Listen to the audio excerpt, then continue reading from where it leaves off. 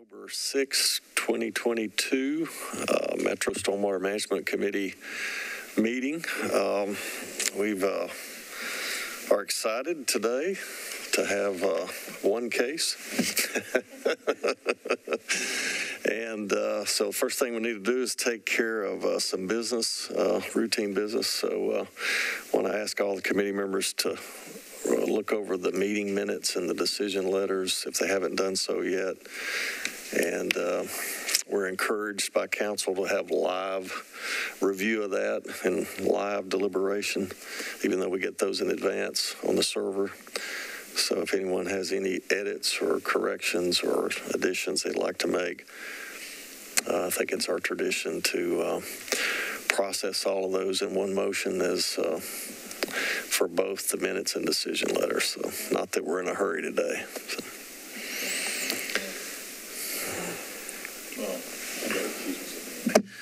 Chair, I was absent last meeting, so I will recuse myself from this vote. Okay, sounds good.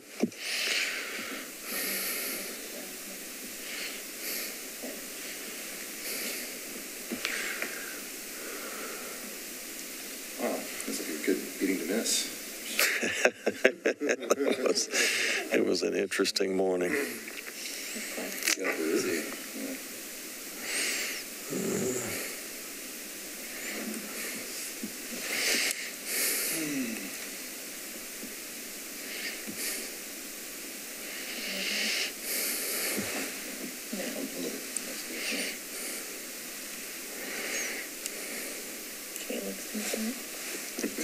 I'm a very slow reader. I,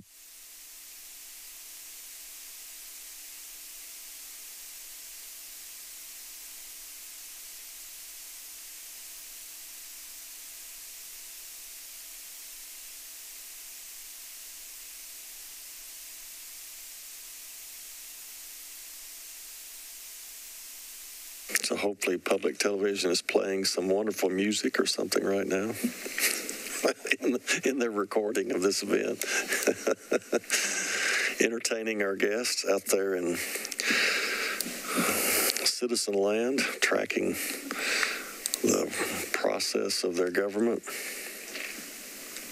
What was the TV, uh, radio, you know, the airwaves.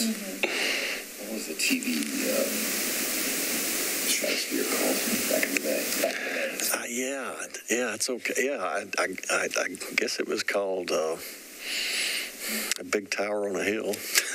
Broad, broadcasting. That's what it was called in Jackson County, where I grew up. There's that big tower in Nashville. Uh, we were just happy to get FM radio when I was a kid. That meant the signals actually bounced a little bit, and you could you could get better. AM just kind of, I think, has a has a certain trajectory, but FM kind of bounces, so you get better reception. But uh, I remember listening to a FM station in Chicago, in Jackson County, when I was a kid. So it played good music. That's about all we could get. Had a big signal. All right. AM six fifty, the father of Little Jimmy Dickens. Oh yeah, that's right. There's a statue to him uh, in front of the Ryman, or on the back of the Ryman, depending on what, what you call the front.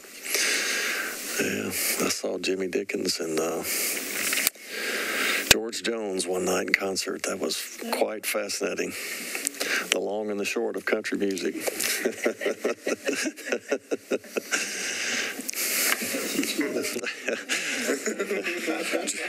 George and George was there in traditional form, and that's all I will say about that. So, all right, All right. we're ready. Yeah, Chairman, I make a motion to approve the September 1 Stormwater Management Committee meeting minutes and the associated approval letters.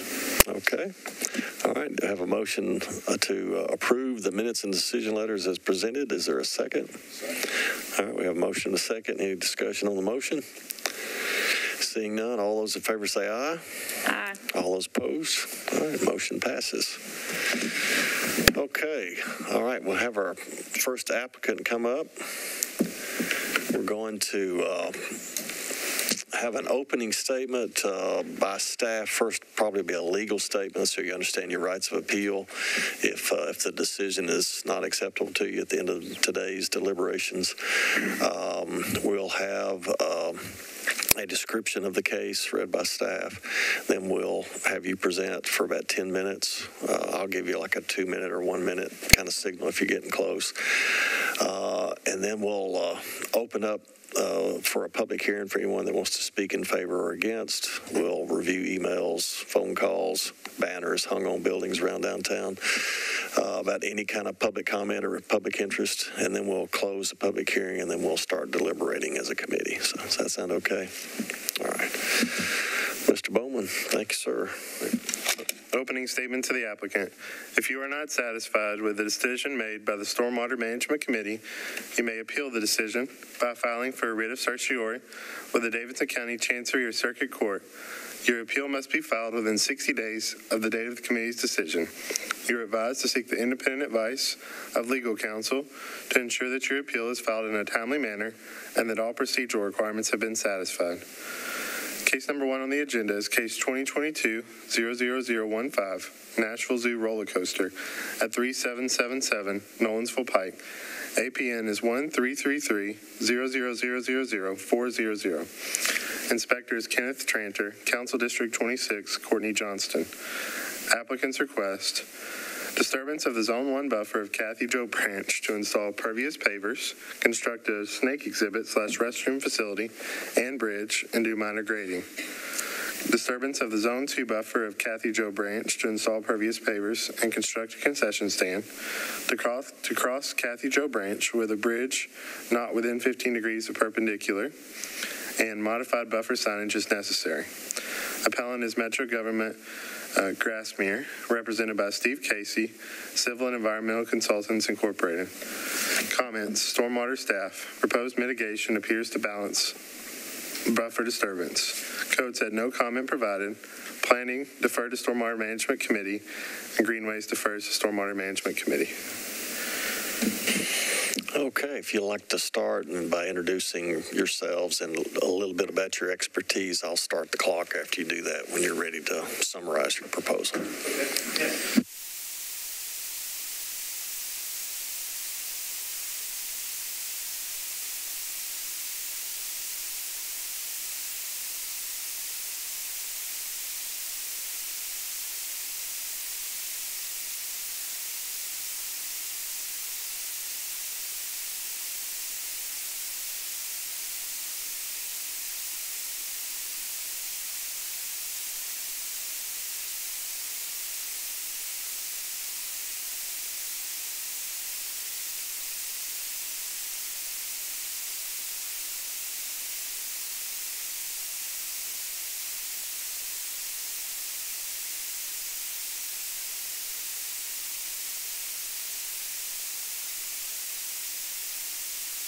Oh, there we go. Should I start over? Okay, Wouldn't hurt to do that for the record. okay. Uh, My name is Steve Casey. Uh, I'm a civil engineer with Civil and Environmental Consultants and have been in the water resources field for many years, um, working on a variety of ecological uplift type projects, and including the, the Nashville Zoo, uh, which you'll hear about briefly today, a project several years ago to do invasive plant removal and uh, prevent erosion that was causing a lot of silt getting into the stream uh, that is uh, now not doing that. Um, I've got Drew Stokes with me as well. He's a civil engineer uh, at CEC with me um, who helped develop these plans. We worked together on that. And then Rick Schwartz, the president of the Nashville Zoo, who could not be here today has sent a letter in his um, uh, place. So I plan to read that at the beginning of the presentation. Okay, all right. Here, you Good. you may proceed. Okay, thank you. Uh, Dear Metro Stormwater Committee members, I sincerely apologize. I am unable to attend this variance meeting. I am in the Peruvian Amazon in Iquitos, which, you know, you can pass these out. Yeah, yeah. Um, Sorry, I meant to pass these out earlier. Is, is that a, is that a two-page letter by chance? It is. Okay. Would you prefer to just, I, I think we can read Okay. it and glance, and, and I also know from experience of having, I've heard his testimony in the past that Okay. um, it's really helpful to learn about the zoo, but it's not really relevant to, understood? if it's not directly related I to the understand. variance. I understand. Yeah, It's nice to know about the economic benefit of the zoo and the Right. visitors, but it's, Okay. we can't make a judgment based upon that information. Understood. All right, thank you. Understood. You're welcome. Very much appreciate. Yeah, he really did not want to miss this. Um, I remember, yeah. Yeah, gotcha.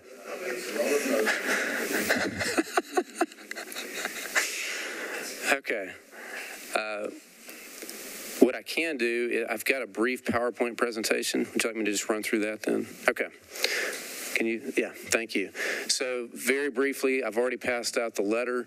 Um, I wanted to give an overview of the location, um, show you some of the photos of the existing buffer, uh, a summary of the impacts, proposed mitigation, and I'll show you, if we have time, a few of the concept pictures. Um, So, so here is where the project is. Uh, The proposed roller coaster area, snake exhibit area is off the visitor map, if you will, um, over in the north uh, west corner of the property.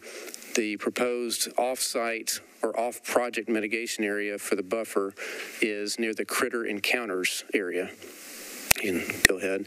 So here that is shown on an aerial uh, where you have up there in the northwest corner the roller coaster snake exhibit proposed area and uh, the critter encounters there towards uh, to the east of that.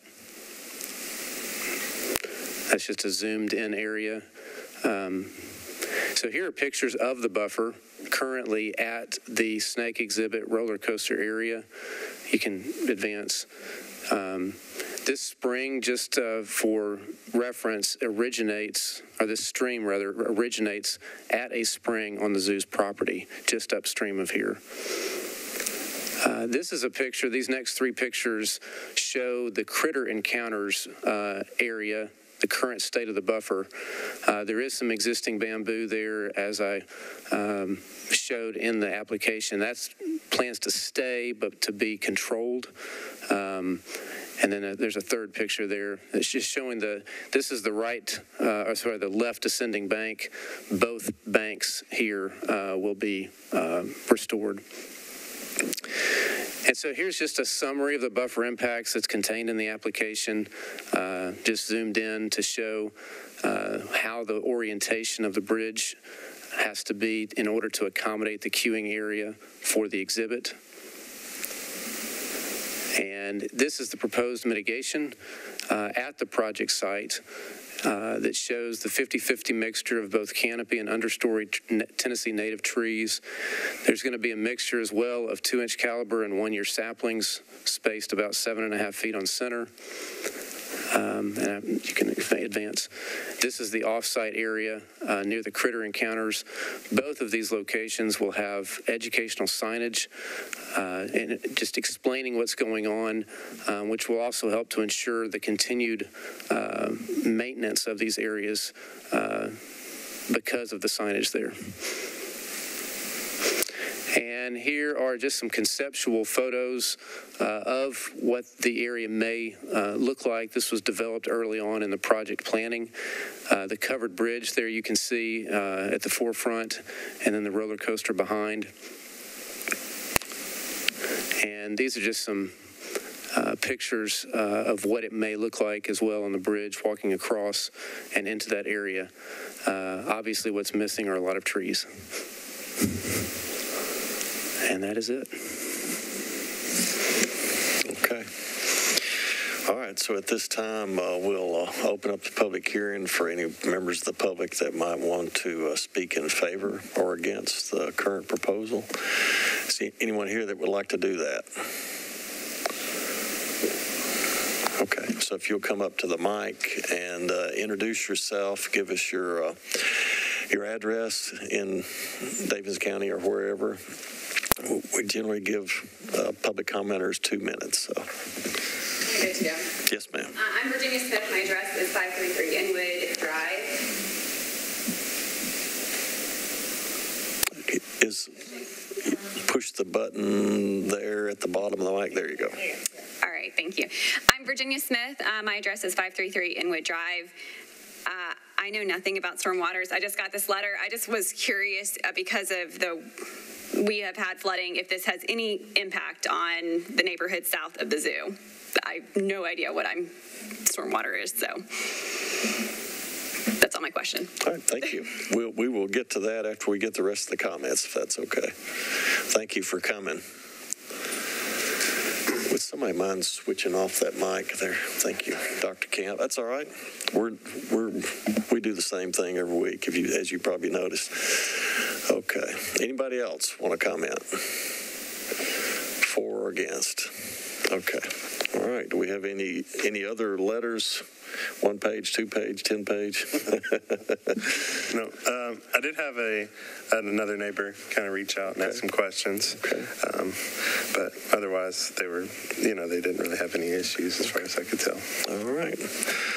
Okay, so uh, we'll close the public hearing, um, and we'll open it up for committee debate at this point.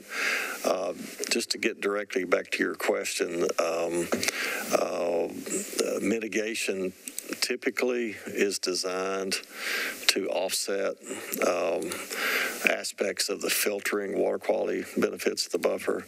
Um, There should also be some correlative um, increased sponginess as a result of adding additional uh, vegetation to a site to offset hardening of a site. Uh, But it's really up to the applicant to quantify that for us and to assure us that that's happening. Um, That's a very reasonable concern to have. It's it's uh, it's why these buffers exist, uh, both for water quality and for water quantity, um, and um, the floodplains associated with them do help reduce flooding downstream if they're not hardened or developed. Um, but of course, the floodplains extend much further than our jurisdiction, you know, with the buffer. So uh, protecting these buffers. Uh, either by not allowing more hardening or development or by having very um, thorough mitigation is pretty important. So, does that answer your question?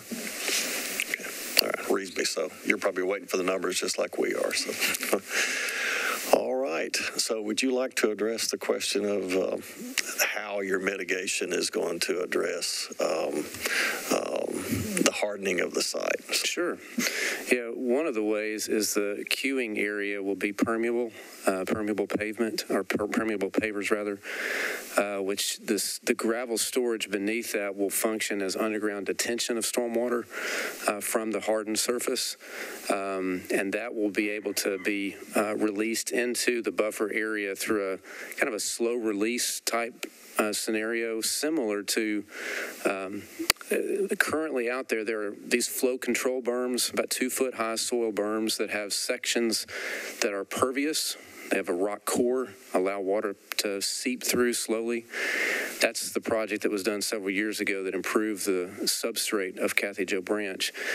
Similarly, this uh, the queuing area will have a kind of a gravel uh, storage that will seep out into the buffer. Um, additionally, we will retain or uh, get some detention benefits from the bioretention area that's being proposed uh, there as well. Um, so I think uh, those two, plus as you mentioned, all the trees that are being planted in the buffer itself, will all help to mitigate that. And we we are being bound by the Metro stormwater regulations as well, and have a pending uh, application with them. How much of the pervious paving uh, will be in the zone one or the zone two that's that's uh, already currently vegetated? Or we, we be adding additional pervious areas that are, that are outside of a vegetated buffer or inside of a non-vegetated buffer? Um, I- I'm not sure I followed the question exactly. I, I guess what I'm looking for is kind of a, a mass balance gain, a net gain of perviousness. So do you have any idea for, you know, how much net gain we might get out of, uh, because a, a lot of your mitigation appears to be within the existing buffer. Within the existing zone yes, one and zone so- two. So, Yeah. right, we are planting trees in the existing buffer, Okay, that's so- correct. So you're enhancing the current buffer, which could make it more spongy and more healthy. Um, But if you're adding hardening, ideally what we would benefit most from would be a, uh, an unvegetated buffer being revegetated. Oh, I Or- see. Or a, an, a, um, an area adjacent to the buffer being made more pervious. Because, you know, frankly, the unsaturated zone of soil is going to be thicker, Mm-hmm. further away from the buffer, further away from the water table. Right. So you're going to get more storage, more detention and retention, actually more retention Mm-hmm. in those sites. So we're really generally looking for a net gain. So can you quantify that at all based upon what you're presenting? Well, what I can say, that the current area that the project is being proposed is pervious. Um, You know, there's not impervious that we are able to remove, other than a small wooden bridge that's there now. So this bridge going over is actually replacing that. Correct. Replacing a current bridge? It's replacing a current bridge So that's that not in bit, yeah. good enough repair to Okay. be adequate for the uh, purpose.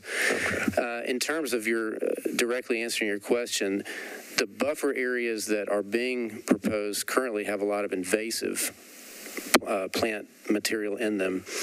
And part of the issue with that is it shades out the vegetation at the ground level and thereby uh, leads to erosion uh, that you can, always can't see.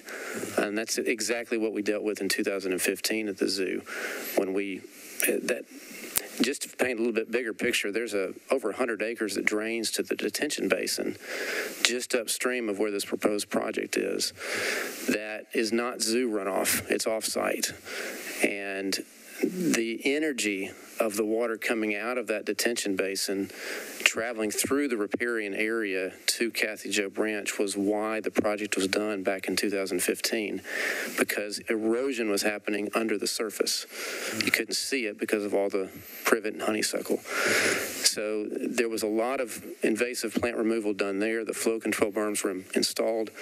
That same thing is being proposed as part of this project to keep that good benefit, that good technology, um, and mitigate for what's being added in terms of hardness through the bioretention area, the underground detention.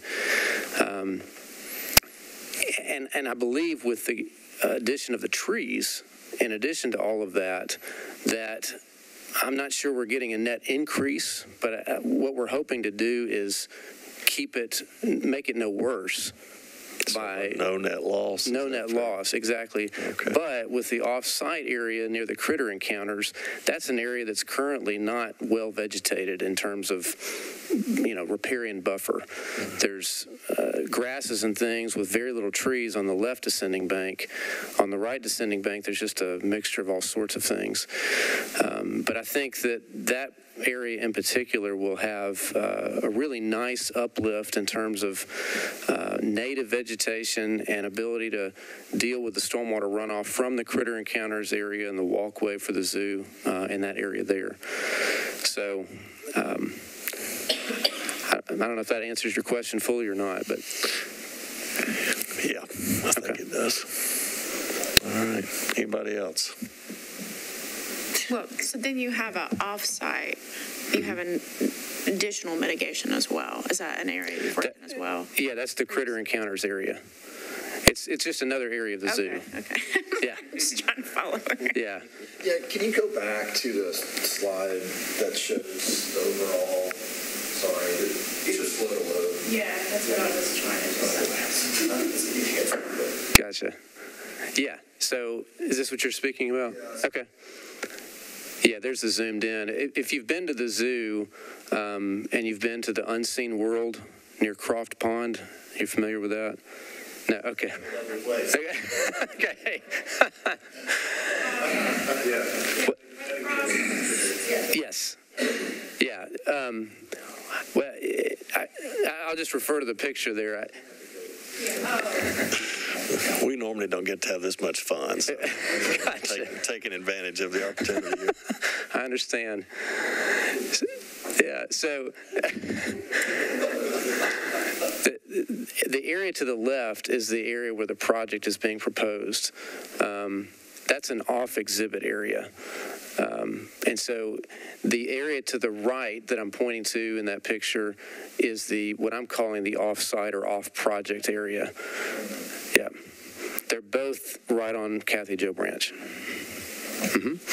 Okay, um, so we tend to, I think, um, our chair was trying to get to the point of with this roller coaster, um, I'm looking at the plans, which are a few slides down, I think. You have like the roller coaster station, which I assume is going to be concrete or it's going to be impervious area, correct? And then there's concessions and restrooms being added. I know, you know, you're replacing a bridge, which is not really a change in like impervious area or pervious. Um, but I think what would be beneficial for us is how much impervious area is being added that would lead to more runoff, and then what is the amount of, you know, impervious area that you've spoken about? Right. And then looking at kind of the, is the impervious area being added? What is that in terms of square footage or acreage and mm. those things? And then how is that being offset? Understood. So if it could be really quantified, I think that'd be beneficial because it's not, while you say there's no net gain or loss, the reality is there's impervious area being added to an undeveloped yes. portion of the site. Yes. And it would be beneficial for us, I think, to know how much impervious area is being put on the site and how that's being mitigated and offset with Okay. impervious area and plantings and those things. Okay. That is something I don't have a square footage available to me this minute. It's part of our grading permit application that is in the queue. Um, and so it shows that we are mitigating for that in terms of the bioretention detention benefit as well as the underground detention. So there is a net increase in impervious area. However, I will say we we tried our best to take advantage of pervious practices where we could. Uh, for example, the hammerhead that needed to be there for fire access is planned to be pervious, uh, as well as the queuing area is going to be pervious, pervi- permeable pavers. Uh, certainly, with the roller coaster building itself, that had to be impervious. Um, the roof for the snake exhibit restroom building and the roof for the concessions building, we th- those were impervious. So those are the per- impervious areas, if you will, but they're being mitigated by both detention as well as water quality uh, practices in accordance with Metro's requirements. Uh, so there's no net increase in terms of runoff uh, because of those things. Okay. Something we also typically like to see is when you are encroaching on buffer, like how much of that buffer is being encroached upon in terms of acres, so that we have an idea of like, Yeah, we have that. I didn't zoom in far enough possibly. Um, Oh, yeah, I see Could that. you- But it's sometimes nice to just have all of those numbers kind of pulled together so we Yeah, can I've, the I've got a slide in there of that. Yeah, if, if I could chime in for a second, I've got what, you know, obviously the, they're here for the encroachments and the buffers and everything else is going to be per code. So it, it's, what's important that jumped out at me is there's 200 square feet of roof in the zone one buffer for the restrooms. And then there's a, um, really the biggest encroachment is the bridge. It's a replacement bridge. Um, There's also a slight encroachment in the zone two for the concession stand. But what you got to keep in mind is you're delineating a 100 acre drainage basin. I mean, there's, there's a chance, they thought that that was the most accurate line, but there's, I mean, there's a chance it's 10 feet downstream or 10 feet the other way. I mean, there's only so much accuracy we can have with the information we have. You know, when I'm looking at the, the orientation of the bridge, it makes me wonder why it can't be more perpendicular, maybe limit it, but I'm sure that there's a lot of functionality that causes queuing and you know, and, and really the limited space that is occupied by the roller coaster, I know it's very hard to change that geometry. Combined with what's going on on the opposite side, you know, it, it's somewhat of a hardship just on the usable area. Mm-hmm. And so I don't know if you can speak a little bit to that. And I guess in mm-hmm. addition to just aligning similar to the existing bridge, mm-hmm. it, it's why move it. Um, but those are the those are really the couple things that, that jumped out at me. And, you know, for a second I was thinking, well, why can't we just move the restrooms a couple feet? But at the same time, there is that that line is so hard to draw, and we're really relying on where a surveyor shot what they thought was the top of a bank, mm-hmm. and we just have to go off of that. We're you know we can't manipulate that at all, and it you know it, it, this meets the intent of all the regulations in my mind. Albeit it might encroach a foot or two, because when you look at other municipalities, they go on averages and, and you might be able to encroach a little bit as long as you have a bigger buffer somewhere else. And we've, you know, we've looked at some cases in that fashion before. So, you know, I don't, I don't think these minor encroachments are significant or detrimental to the water sources. But that's just my two cents. Would you like me to speak to the direction of the bridge and all that? Okay. Yeah, there was a lot of, and by the way, I do have that slide in here that shows the quantification. Oh, okay. Okay. Um, I can get that to you though. um, so the direction we we uh, during the design development process really wrestled with trying to get this more perpendicular. Um, the site is somewhat limited and challenging in and of itself um, because of the presence of the detention basin to the north and the stream to the south. Uh, but the site itself, as Rick's letter describes, really is essential because of its being nowhere near animals. Um, and the noise from the roller coaster is something that it can't be that close to other animals for stress reasons. So the because of that, having this access across Kathy Joe into the queuing area necessitated that orientation of the bridge.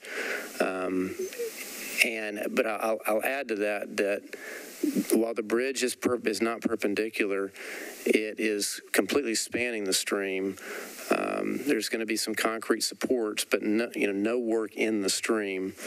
Um, and it, I, there's other examples of this at the entry village where the, the zoos had similar challenges with trying to cross perpendicular.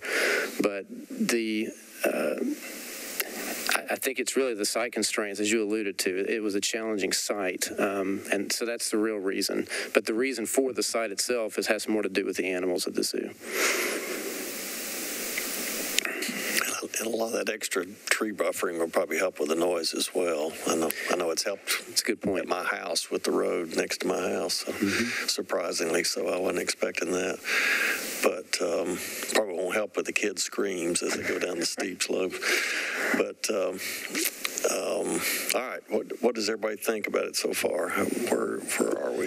Mr. Chairman, could I Yes. ask one question? Yes, sir, please. Um, I recall there was an invasives control plan as part of that. Am I remembering that correctly? And if so, could you elaborate a bit on what that would be?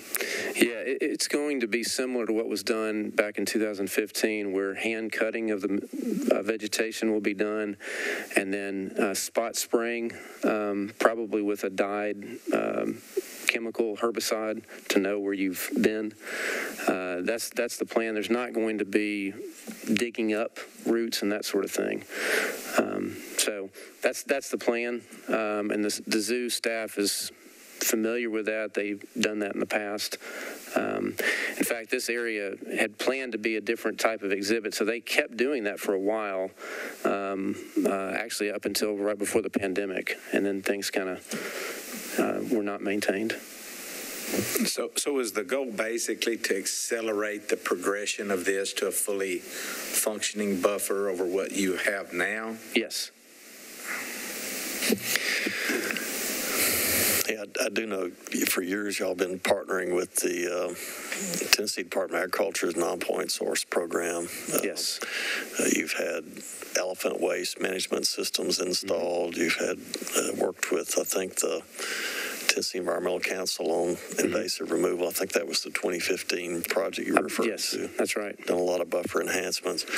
Um, yeah, uh, uh, we try to be flexible with public entities because th- they don't offer as frequent recurring impact to buffers as everyday development does, everyday common development.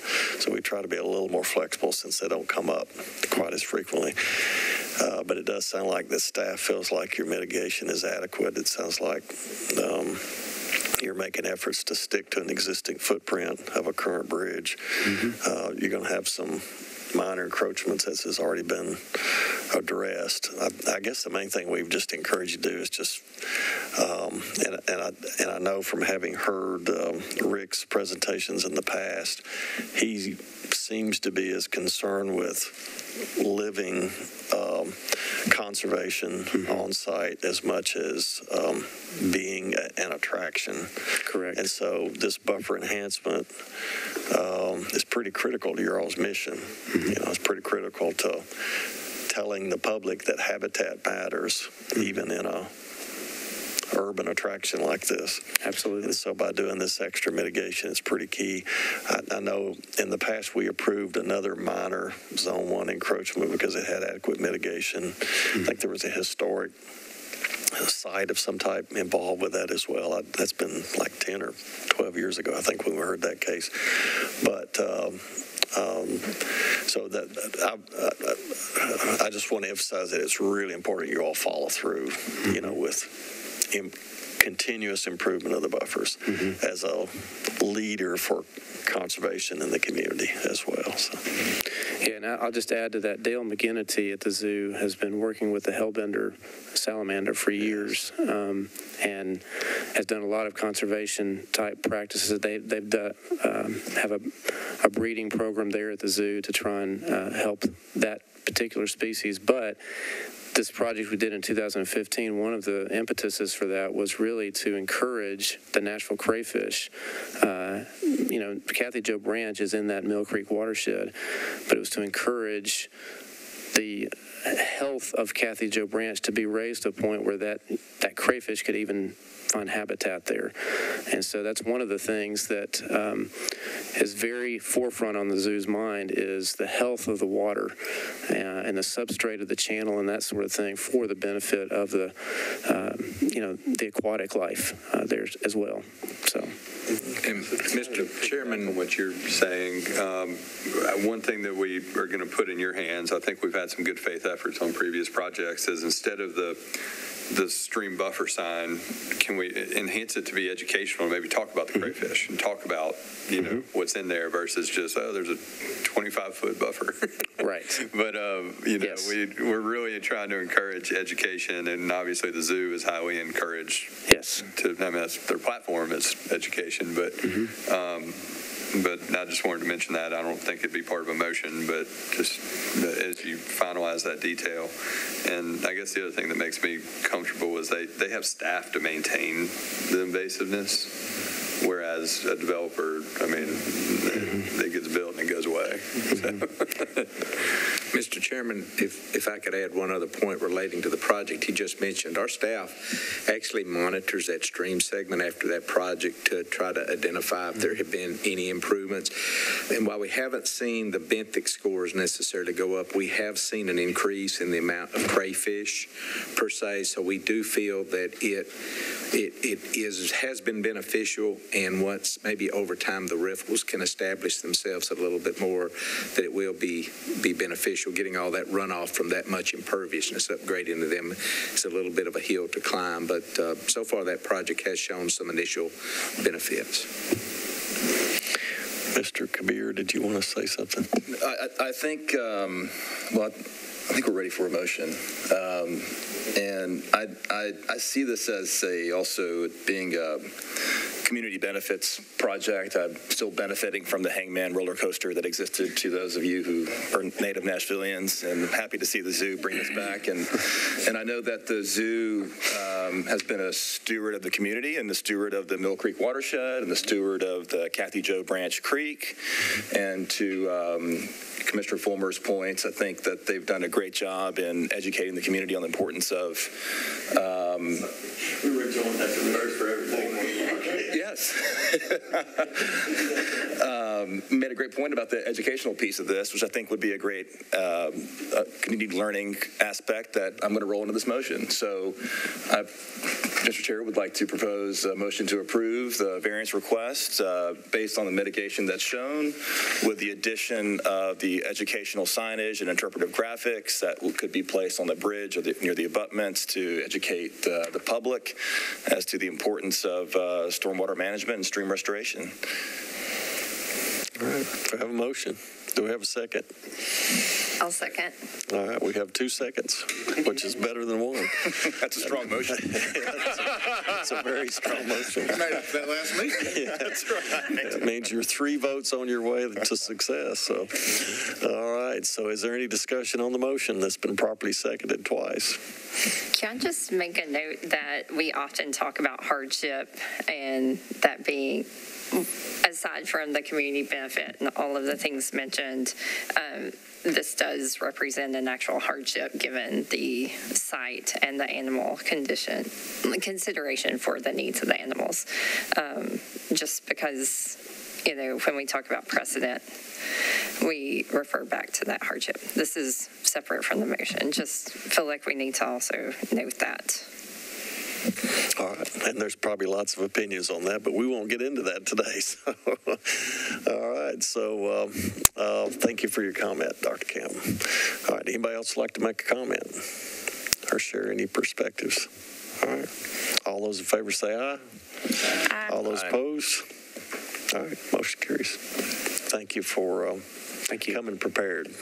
That helps a lot. Yeah, you're welcome. Thank you. All right. When is the roller coaster open? I was just thinking that. This should be first in line. And we'll, we'll be in the back of the line. We won't be expecting any early seats or anything like that.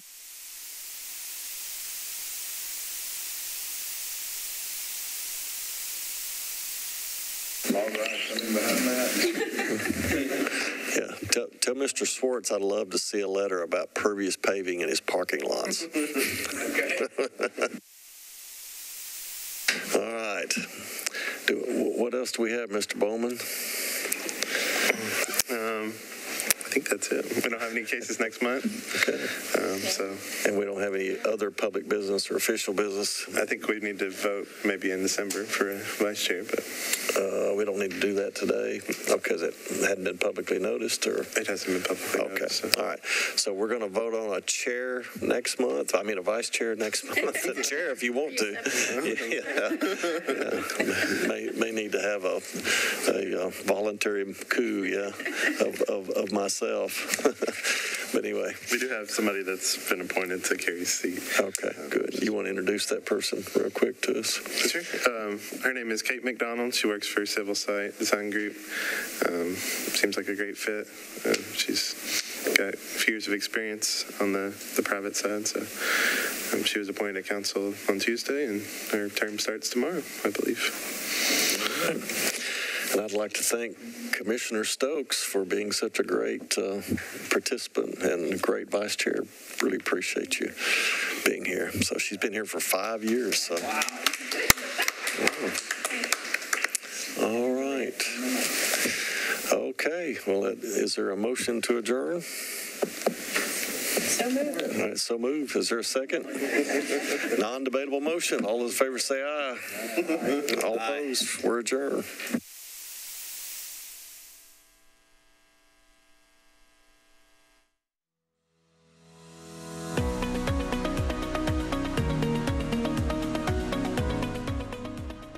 Has been a service of the Metro Nashville Network. If you would like to see this presentation again, or for more information on this and other programs, visit nashville.gov